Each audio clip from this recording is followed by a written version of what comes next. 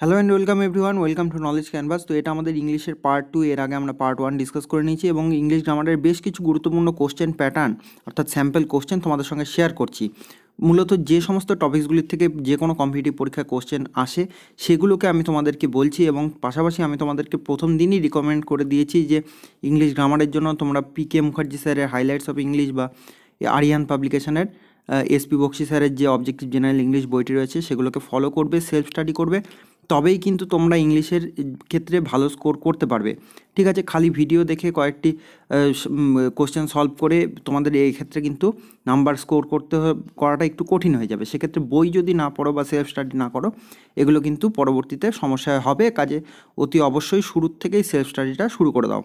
ঠিক আছে, এবং পাশাপাশি অন্যান্য ক্লাসগুলিও আমাদের স্যামেলটেনিয়াসলি চলছে। আমরা life science physical science math reasoning এবং জিকের ক্লাস সেগুলো সমস্ত কিছু করাচ্ছি তোমাদের। কাজে চ্যানেল যারা নতুন হয়ে আছো চ্যানেল সাবস্ক্রাইব করে পাশে থাকা নোটিফিকেশান বেলটিকে প্রেস করে দেবে এবং সেখান থেকে অল নোটিফিকেশান সিলেক্ট করে রাখলে সমস্ত ক্লাসের নোটিফিকেশান টাইম টু টাইম পেতে থাকবে। এবং আমাদের স্টাডি মেটেরিয়ালস ও অন্যান্য ভিডিও লিঙ্ক গুরুত্বপূর্ণ আপডেটগুলি জানার জন্য আমাদের টেলিগ্রাম চ্যানেলে জয়েন হয়ে যাবে। টেলিগ্রাম অ্যাপে নলেজ ক্যানভাস লিখে সার্চ করে জয়েন হতে পারো, কিংবা টেলিগ্রাম অ্যাপে জয়েন হওয়ার ডাইরেক্ট লিঙ্ক এই ভিডিও ডিসক্রিপশন বক্সে শুরুতে পেয়ে যাবে। এবং প্রিভিয়াস ভিডিওগুলোর লিঙ্ক আমি এই ভিডিও ডিসক্রিপশন বক্সে দিয়ে দেবো, যারা আগেরগুলো দেখোনি তারা দেখতে পাবে। এবং চ্যানেলে সেপারেট প্লে লিস্ট রয়েছে, সেগুলো গো থ্রু করবে, তাহলেও তোমাদের হেল্প হবে।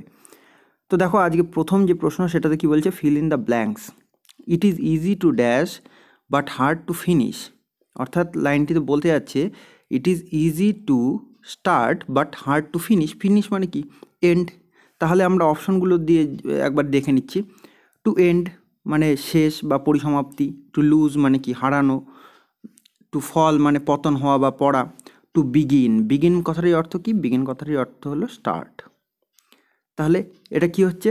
It is easy to begin but hard to finish অর্থাৎ কাজটি শুরু করা সহজ, কিন্তু শেষ করা কঠিন। ঠিক আছে? তো নেক্সট কোশ্চেনের দিকে যাচ্ছি। আশা করি বোঝা গেল। এখানে কি বলছে? Choose the appropriate phrasal verb for the underline word আমি বারবার বলছি ফ্রেজাল ভার্বের থেকে কিন্তু কোশ্চেন কমন পাবেই পাবে। কাজে ফ্রেজাল ভার্ব নিয়ে নিজেরা বাড়িতে ভালো করে কালচার করবে। এখানে কি বলছে? প্লিজ এক্সটিংগুইশ দ্য লাইট এখানে এক্সটিংগুইশের নিচে আন্ডারলাইন রয়েছে। এর অ্যাপ্রোপ্রিয়েট ফ্রেজাল ভার্ব আমাদেরকে ফাইন্ড আউট করতে হবে। এখানে কি আছে? অপশনগুলো তোমরা যদি গোত্র করো। এক্সটিংগুইশ কথাটির অর্থ কী? আগে এই জিনিসটা বুঝে নাও। এক্সটিংগুইশ কথাটির অর্থ হলো নেভানো। ঠিক আছে? এক্সটিংগুইশ কথাটির অর্থ হলো নেভানো। মানে লাইটটি মানে বাতিটি নেভানো বা আগুন নেভানো। Please extinguish the light please extinguish the fire ঠিক আছে? তো তাহলে আমাদের এখানে পুট আউট এই পুট আউট কথাটির অর্থ কি? পুট আউটের অর্থও কিন্তু নেভানো। ঠিক আছে?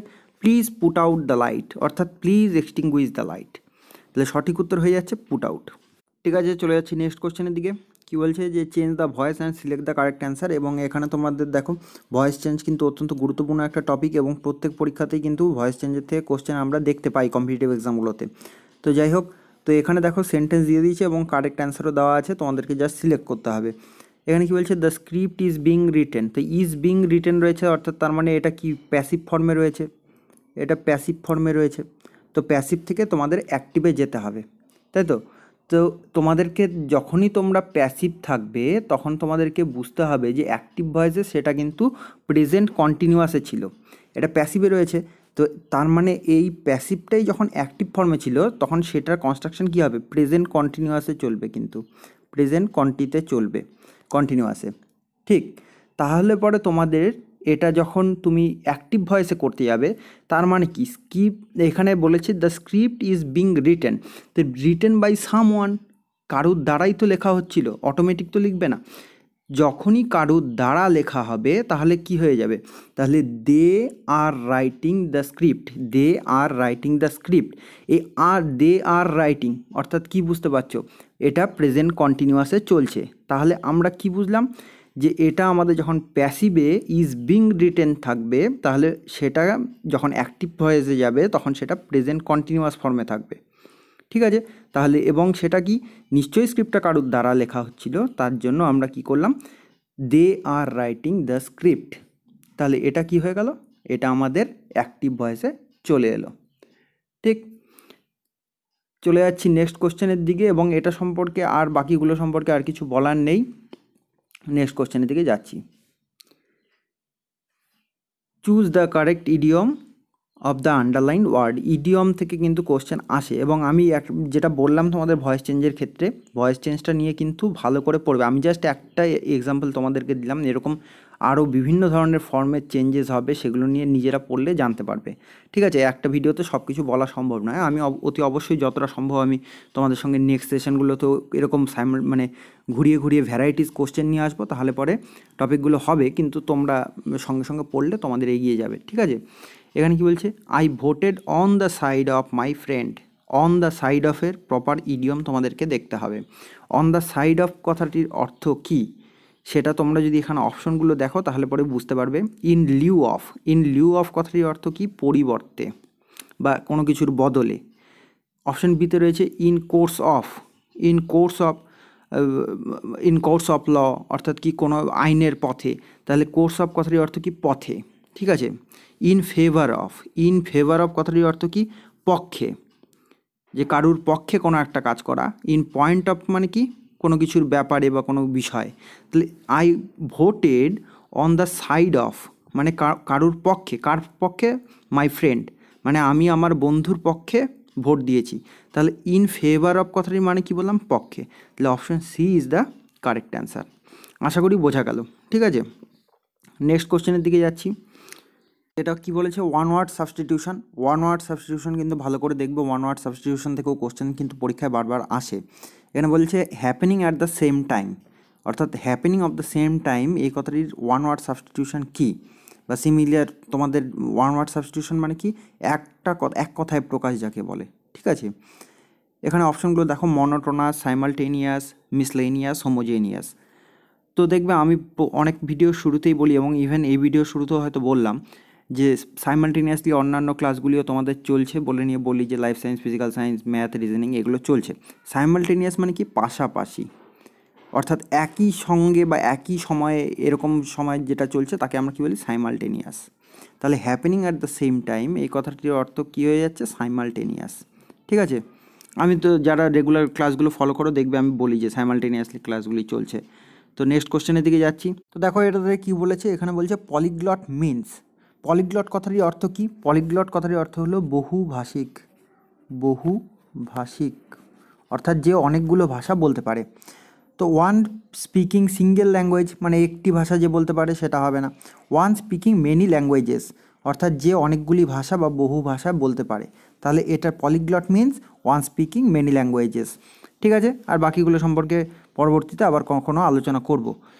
তো দেখো এখানে কি বলেছে চুজ দ্য কারেক্ট ওয়ার্ড এখানে ওয়ান বিলিভিং ইন গড এটা ওয়ান ওয়ার্ড সাবস্টিটিউশনও বলতে পারো মিন্স মানে এক যে ভগবানে বিশ্বাস করে, তাকে কি বলা হয়? অ্যাথিস্ট থেইস্ট অ্যাগনস্টিক অপটিমিস্টিক তো এখানে কি হচ্ছে? সঠিক উত্তরটি থেইস্ট থেইস্ট মানে আস্তিক মানে ওয়ান বিলিভিং ইন গড ঠিক আছে? আচ্ছা তোমরা আমাকে এটা কমেন্ট করে জানিয়ে দিও যে one not believing in God, সেটা কি হবে? এখানে অপশনগুলোর মধ্যে দেখতে পাচ্ছ থেস্টটা তো হবে না, বুঝতে পারছ? বাকিগুলোর ক্ষেত্রে, তো এই যে অপশান এ সি আর ডি এর মধ্যেই উত্তর রয়েছে যে one not believing in God কি হচ্ছে? ঠিক আছে? নেক্সট কোশ্চেনের দিকে যাচ্ছি, এবং তোমরা যদি পারো এটাও করে দিও one not sure of God মানে ভগবান আছে কি না, সেটাই যে বিশ্বাস করে না তাকে কি বলব? সে এই যে এখানে একটা দিলাম হলো one not believing in God এবং one not sure of God এই দুটোর উত্তর এখানে অপশান এ সি এবং ডি এই তিনটের মধ্যে থেকে কোনটা হবে তোমরা লিখে বলবে। একদম পূর্ণ বাক্যে লিখবে যে one not believing in God means এটা এবং one not sure of God means এটা। ঠিক আছে? কমেন্ট করে জানিয়ে দিও, জানা থাকলে, নাহলে নেক্সট ক্লাসে আমরা আবার এগুলোকে আলোচনা করে দেবো। বলছি choose the pair of correct synonyms এবং সিনোনিমস অ্যান্টোনিমস কিন্তু পরীক্ষার ক্ষেত্রে অত্যন্ত গুরুত্বপূর্ণ। কাজে এখান থেকে কিন্তু প্রশ্ন প্রত্যেক পরীক্ষাতেই দেখা যায়। অ্যানয় কথাটির অর্থ কী? অ্যানয় কথাটির অর্থ হলো বিরক্ত করা। ঠিক আছে? বিরক্ত করা। ঠিক? তাহলে এখানে আমাদের অপশনের মধ্যে পেয়ার রয়েছে, দুটো করে রয়েছে। আমরা দেখি প্রথমেরটা কি? Anger irritate. আমরা অপশন এতেই দেখতে পাচ্ছি সঠিক উত্তর। অ্যাঙ্গার মানেও বিরক্ত করা, ইরিটেট মানেও বিরক্ত করা। তাহলে সঠিক উত্তর কী হয়ে যাবে? Anger and irritate. ঠিক আছে? নেক্সট কোশ্চেনের দিকে যাচ্ছি। এনে choose the right option to rewrite the sentence তো এখানে তোমরা যদি নজর দাও, এখানে দেখতে পারবে no sooner dash the sun risen then the fog disappeared তো এই সেন্টেন্সটা পড়ে আমরা কি বুঝতে পারছি? যে সেন্টেন্সটা কিন্তু একটা নেগেটিভ সেন্টেন্স রয়েছে। ঠিক আছে? এবং এই সেন্টেন্সগুলোর উপর ডিপেন্ড করে কিন্তু ভয়েস চেঞ্জও আসে। যে নেগেটিভ থেকে অ্যাফার্মেটিভ তোমাদেরকে করতে দেবে। সেগুলো নিয়েও ভয়েস চেঞ্জের মধ্যে একটা পার্ট রয়েছে। তবে এখানে আমাদের ফিল ইন দ্য ব্ল্যাঙ্কস দিয়ে সঠিক উত্তরটাকে নির্বাচন করতে হবে। তাহলে তুমি যদি এখানে দেখো, তাহলে দেখো no sooner dash the sun তাহলে the sun the sun risen, অর্থাৎ সেকেন্ড ঘটনাটা কি হচ্ছে? প্রথম ঘটনার সঙ্গে তুলনা করে হচ্ছে। No sooner dash the sun risen, then the fog disappeared মানে সূর্য উদয়ের সঙ্গে সঙ্গে ফগ, অর্থাৎ কুয়াশা ডিজাপিয়ার্ড কুয়াশা কেটে গেল। তাহলে no sooner did the sun হয় না, ঠিক আছে? তাহলে no sooner had the sun risen, তাহলে no sooner had the sun risen, then the fog disappeared তাহলে সঠিক উত্তর কী হয়ে যাচ্ছে? হ্যাড ঠিক আছে? নো সুনার আগে তো ডিড হবে না। তাহলে no sooner had the sun risen then the fog disappeared ঠিক আছে? এবং এই no sooner had the sun risen then the fog disappeared এরকম ধরনের আরও বিভিন্ন ধরনের হয়। নো সুনার ডিডেরও অ্যাপ্লিকেশান থাকে, সেগুলো নিয়ে আবার পরে আমরা ডিসকাস করব। তোমরাও কিন্তু বই ফলো করলে পরে এগুলো সম্পর্কে জানতে পারবে, যেমনটা শুরুতে বললাম। Choose the correct idiom of the underlined word তো ইডিয়ম অ্যান্ড ফ্রেজেস আমি তো বারবারই বলছি, প্রত্যেক সেশনেই রাখছি তোমাদের জন্য কোশ্চেন আসবেই এখান থেকে। He knows the full details of the job full ডিটেলসকে underline করা হয়েছে, এর অ্যাপ্রোপ্রিয়েট ইডিয়ম তোমাদেরকে দেখতে হবে। In case of ins and outs in the dark on the way full details কথাটির মানে কি? মানে ফুল ডিটেলস মানে হলো বিস্তারিত, পুঙ্খানুপুঙ্খ বা খুঁটিনাটি, এটা হলো ব্যাপার। তাহলে ইনস অ্যান্ড আউটস এর মানে কি? পুঙ্খানুপুঙ্খ বা খুঁটিনাটি বা বিস্তারিত মানে একদম যা যা রয়েছে সেটা সম্পর্কে সব কিছু জানে। তাহলে he knows the full details of the job full details means full details হলো প্রপার ইডিয়াম হচ্ছে ইনস অ্যান্ড আউটস ঠিক আছে? মানে সমস্ত কিছু পুঙ্খানুপুঙ্খভাবে জানা। তো আজকের সেশনটি এই পর্যন্তই থাকছে। সেশনটি যদি ভালো লেগে থাকে তাহলে অবশ্যই একটা লাইক করে দিও, বন্ধুবান্ধবদের সঙ্গে শেয়ার করে তাদেরকেও এই বিষয়গুলিকে জানিয়ে দিও। এবং চ্যানেল যারা নতুন আসো চ্যানেল সাবস্ক্রাইব করে পাশে থাকা নোটিফিকেশান বেলটিকে অতি অবশ্যই প্রেস করে দেবে এবং সেখান থেকে অল নোটিফিকেশান সিলেক্ট করে রাখলে সমস্ত ক্লাসের নোটিফিকেশান টাইম টু টাইম পেতে থাকবে। ঠিক আছে? তো আজকের ভিডিওটি এই পর্যন্তই থাকছে। সকলে ভালো থেকো, সুস্থ থেকো। দেখা হচ্ছে নেক্সট ক্লাসে